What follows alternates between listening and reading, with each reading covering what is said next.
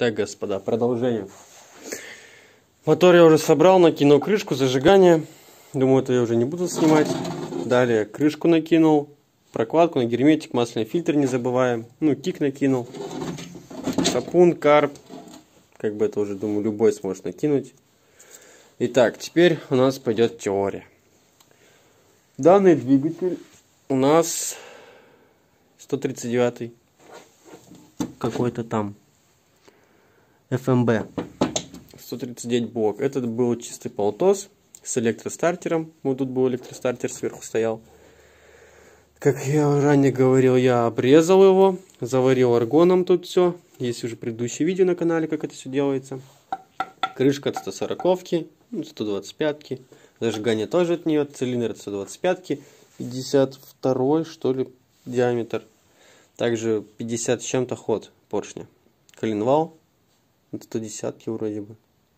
Что же, не помню, давно собирает этот движок. Башка от 140 заглушен.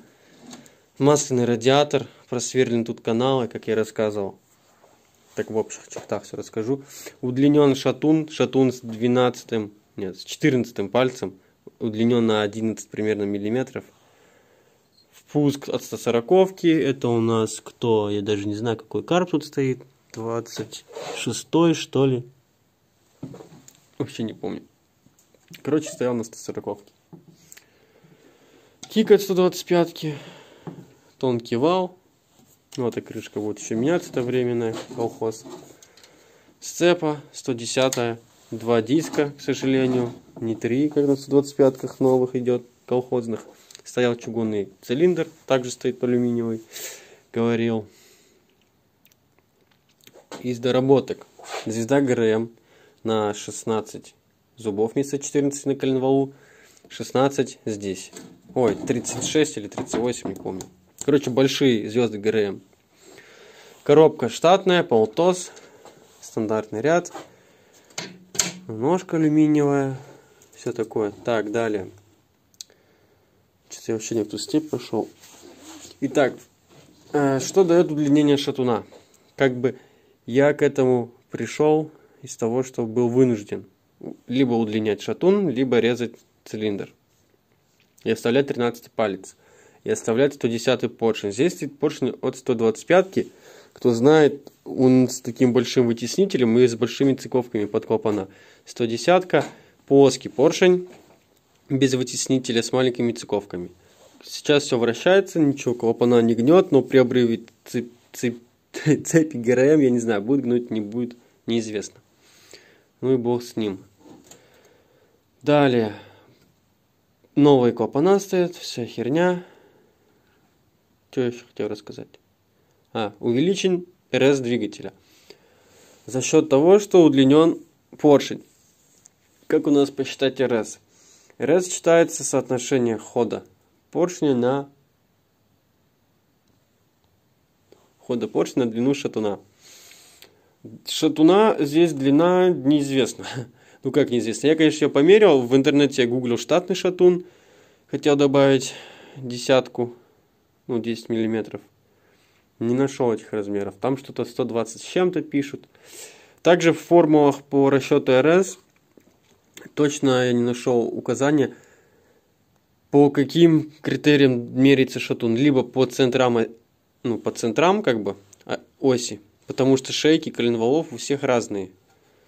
В этом будет большая погрешность. Также, либо по, ну, типа там идет формуле, формуле L шатуна. Это, допустим, вот если одна шейка, вторая, ну, типа по вот этому расстоянию.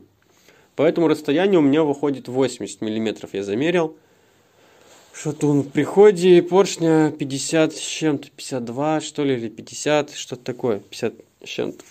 Не помню точно, уже забыл. Ну, штатное колено, короче. Ну, то есть не штатное, штатное там вообще 40 с чем-то имеет ход. Если не ошибаюсь. Вот. И поэтому, в общем, по расчетам, по одному расчету, если брать вот эту длину, но я думаю, что это неправильная длина шатуна для формулы, то получается у меня РС 1,6 копейками. При золотой середине 1,7. Получается, я ничего не потерял. Также здесь почти квадрат, 52,4 поршневая, ну, значит, 50 чем-то и ход колена. Вот, выходит около 120 кубов, что такое я считал примерно, не ровно 125. Ну, это как бы такой китайский заговор. У всех так, у них этих движков. Так, и, а если считать по центрам, то у меня РС выходит ровно двушку. Как бы это такой завышенный показатель РС. Также, что он дает, этот РС? Это, блин, уже опять ночь на улице, видите, и уже спать хочу. РС нам дает что? Что у нас поршень зависает больше в верхней мертвой точке. Для того, чтобы смесь у нас оптимально сгорела, и вся энергия без ударов, без всяких детона толкнула поршень вниз. РС, РС, бля, РС, РС, хватит уже про РС. Вот, э, он нужен для, для движков, как бы, крутящихся. Для короткоходных движков длинный шатун, как бы, тоже особо бессмысленно. Ну, конечно, есть. Блять, что я вообще говорю? Я вообще сам себе перечу. Да, пора спать. В общем, в чем прикол этого двигателя? То, что здесь большая поршневая, а со, пример, ну как относительно маленький ход, квадрат, удлинен шатун на сантиметр, увеличен РС, что поршень больше зависал в верхней мертвой точке при перекладке. Короткий шатун, если у нас будет, то поршень будет быстрее телепаться.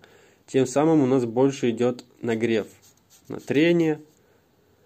Вот потому что ему приходится крутить, крутить, чтобы добавить мощи. РС у нас поднимает в основном верха. Также для верхов установлена башка 140 с большими клапанами.